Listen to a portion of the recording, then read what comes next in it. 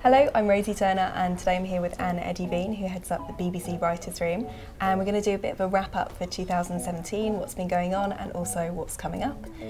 And can you briefly sort of um, discuss what the purpose and mission of BBC Writersroom is? In a nutshell, we find, develop, champion new writing talent across the BBC.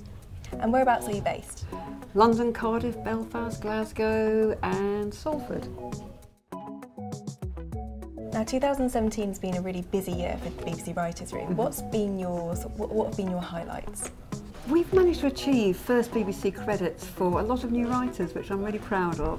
So we've just finished filming five short films uh, in Scotland for BBC Three by new Scottish writers, working with an indie. We've had some monologues by first-time writers on Radio 3 with great stars performing in them.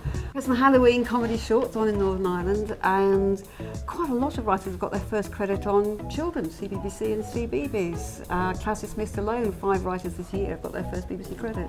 And what kind of writers do you work with then? Well, we work with everybody, well, everybody talented. That is from emerging writers writers through to established writers.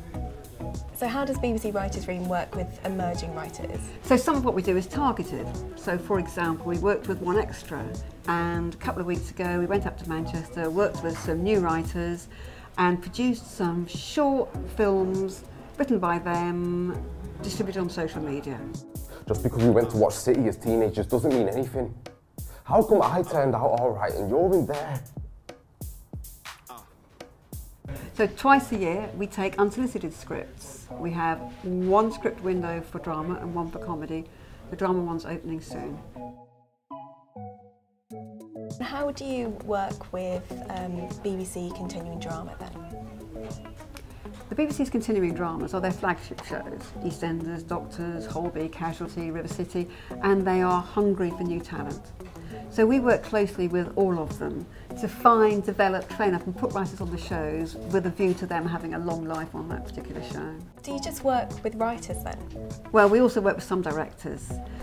I wanted to find a system whereby new directors could approach the BBC without knowing anybody and just get taken on on the basis of their merit and their talent.